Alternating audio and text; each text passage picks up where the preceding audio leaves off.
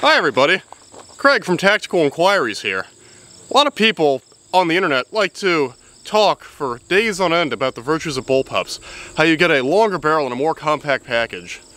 And the more we shoot them, and the more we talk to people who own them, and actually shoot them, not just hang out on, uh, you know, Reddit and talk about how awesome their MDR micro is, we start to find out that these are just shitty rifles that are designed by committee. France adopted them, and now they're unadopting them because they're bad. And a lot of people believe that the FAMAS is probably the best bullpup. So, you know, let's shoot these a little. This is a Tavor X95, shoots 8 MOA groups, and uh, you have to put tape over the ejection port on the left-hand side so it doesn't spit gas in your face suppressed, because the factory cover sucks.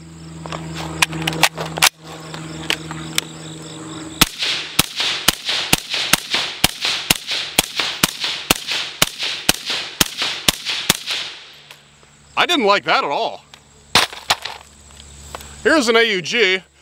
A lot of people think these are pretty nice in terms of bullpups. Once again, you know, bad trigger, back heavy, not great.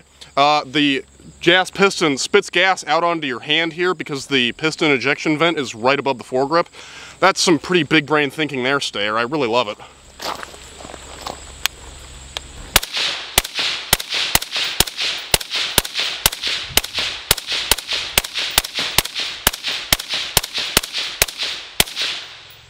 I didn't like that either.